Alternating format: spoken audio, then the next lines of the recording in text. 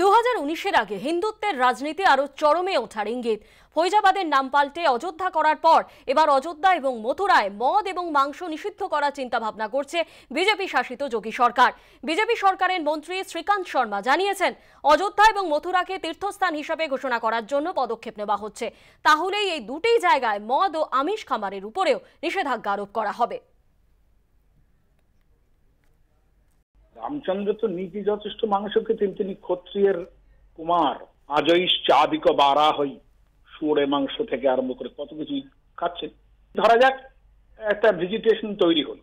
সেটা একটা স্যাক্রিফাইসিং এটা যদি হয়, না খেতে পারেন, কিন্তু তার জন্য তো দেবালয় আছে। হিস্ট্রিতে এটা রেট্রোগেড হয়ে যাবে। রামায়ণের থেকেও পেছনে হাঁটা হয়ে যাবে। উগ্র জিগির ওনারা তুলছেন আর মনুসংহিতার মতো লোক যা তিনি বলছেন, নমাংস ভক্ষণী দোষ। নত মধ্যে বীর হামদির হঠাৎ বৈষ্ণব হয়েছিলেন।